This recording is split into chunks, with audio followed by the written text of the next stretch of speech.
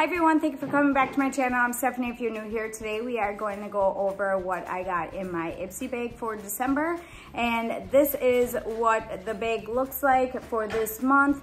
I didn't go over my last month bag because I had so much stuff going on in November but I did leave it on my Facebook page. If you guys want to check that one out, it's 10 Kids in a Garage on Facebook. And I left it in like a post and just let you guys know what I got in my bag. But I thought I would share with you what I got in my December bag.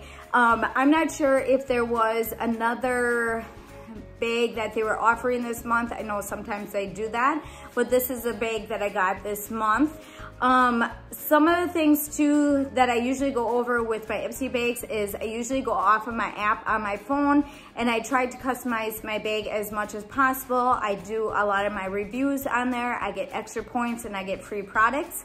So if you have an app, go on there and you guys are able to um, get extra like bonus stuff on there. And then they also will email me and let me know when I can pick extras.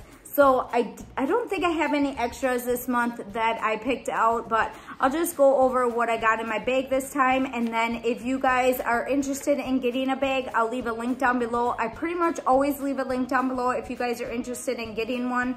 Um, I've been getting these for a couple years now, my daughter also, and we really have been enjoying a lot of the stuff that we get in our bag. So I will um, go over this first. You always get like a little card in there and sometimes it explains what you get in your bag. Otherwise it has like tips and tricks on makeup ideas and different things according to what's going on in the month. And this one says, home for the ho holidays, it's where the heart and fun is. Rock those festive playlists.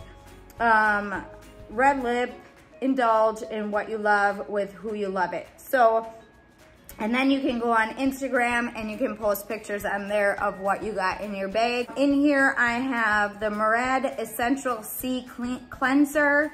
Let's see where I have that in my bag. All right, so this is what this looks like you use in the AM and PM, massage over dampened face and neck, rinse and pat dry. So that'll be fun. Every season, whenever they do this, they try to fit towards season also to like what, um, you know, they might add like extra hydration for winter and then spring would be bright and vibrant. Okay, so let's see what else I got. I got the IT Cosmetic Confidence in Cream because we all know we need that. So I'm excited for that one. I'll give that a try. I'm always using like different eye creams and stuff. So we'll see. We'll see if I like that one or not. So I got that one. And then Estate Cosmetics Precision Liquid Liner. If you guys know and have been following me, you guys will know that I am big in liquid liners. And I prefer the liquid liner over the felt tip um, for my liner, but I also use liner on my waterline also. And that one I usually use e.l.f. because it lasts, lasts all day, but I'm always willing to try different liners. Um, so this is what the package looks like. And then if I can get it out of here, I'm gonna show you.